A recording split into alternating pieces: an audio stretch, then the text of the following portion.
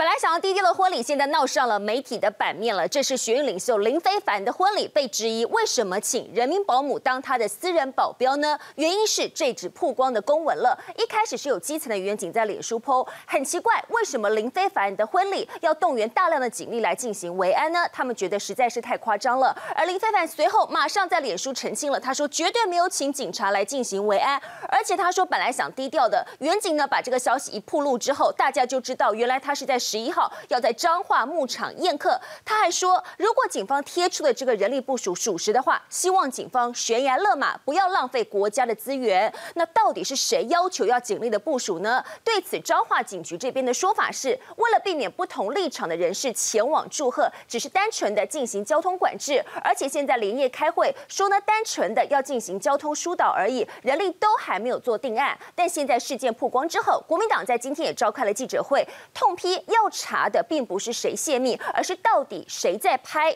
时代力量的马屁。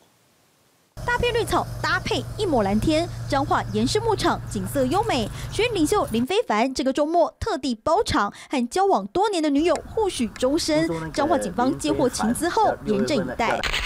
大阵仗部署警力进行维安，公文遭外泄抛网，内容指出当天需要人力三四百位，由分局长跟副分局长分别担任指挥官和副指挥官，辖区各派出所员警全力支援。消息曝光后，不少人认为警方太离谱，人家结婚大排场站岗，好比总统等级，直批太夸张。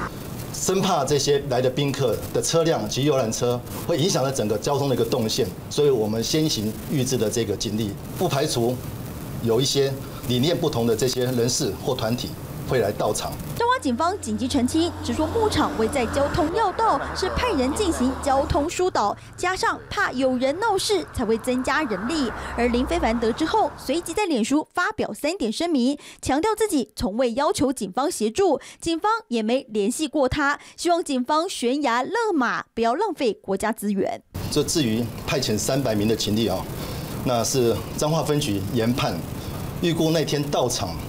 参加的宾客有三百名所致。事实上，这个部分的警力规划还要再做最后的一个确定。凡神结婚到底要派多少人力？警方还没定案，先预做准备，还会修改。只是未定案的公文遭到外泄爆料，由于正逢全国高阶警官调动之际，公文外流也引发阴谋论。记者林一峰、张介、张华报道。